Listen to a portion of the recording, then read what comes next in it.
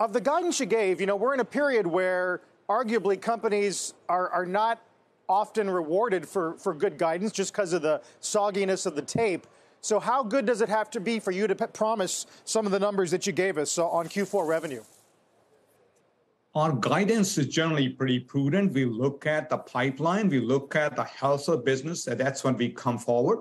I think what's good about Zscaler is not just that we are growing our revenue 60 plus percent year over year, we are also having strong free cash flow margins. The two together is beating the rule of 70 currently, and we think we can do better, and that's based on our customer engagement.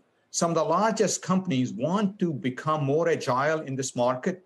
We help them be competitive, and we help them be more secure. So we have become a trusted name by some of these largest companies out there.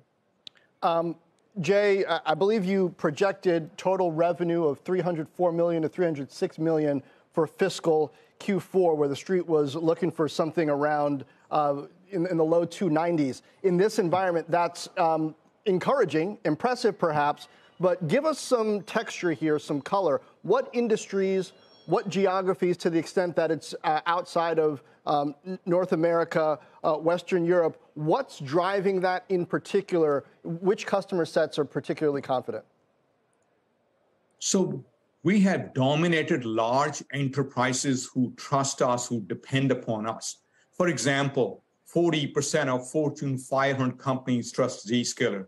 30% of global 2000 companies are protected by Zscaler.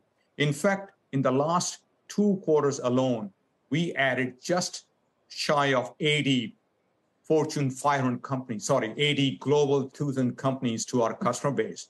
And these companies in these harder times need to become more agile. They need to eliminate a lot of legacy security, legacy network that's sitting out there, costing them a lot of money, making their user experience slow.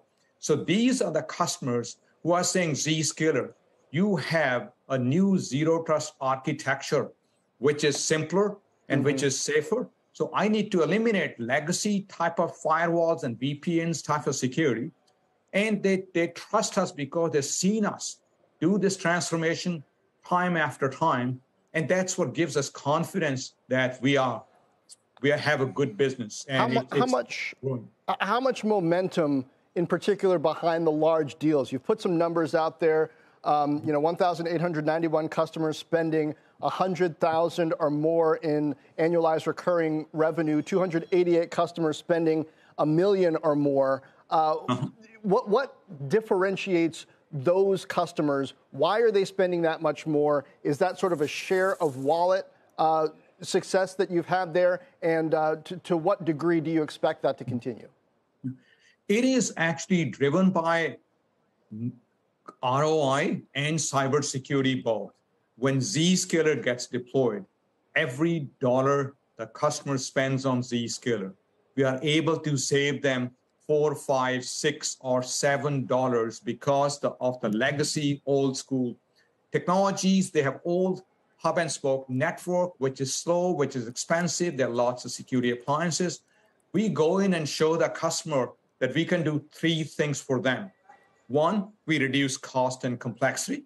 Two, we improve the security posture. And three, the user experience goes up significantly, which means their business productivity goes up.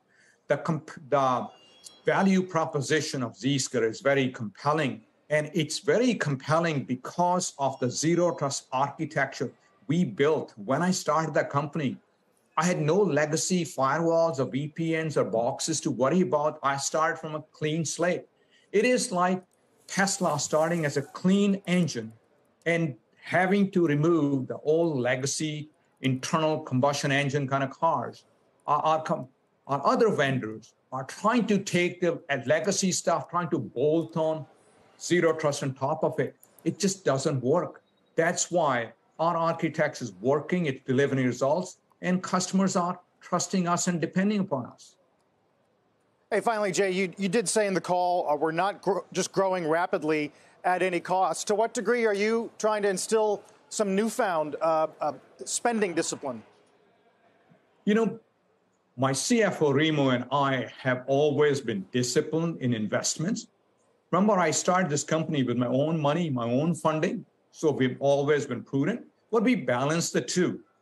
We have been actually generating free cash flow for quite a while, and our projections are very good. So are we pulling back investments? Not really. Could we invest more and grow some more? Probably yes, but we are striking the right balance where we think the rule of 80 can be achieved by us, and that's what our forecast is talking about. Jay, definitely one of the bright spots today in tech. We appreciate your candor and coming on. We'll see you next time. Thank you so much. I appreciate the opportunity.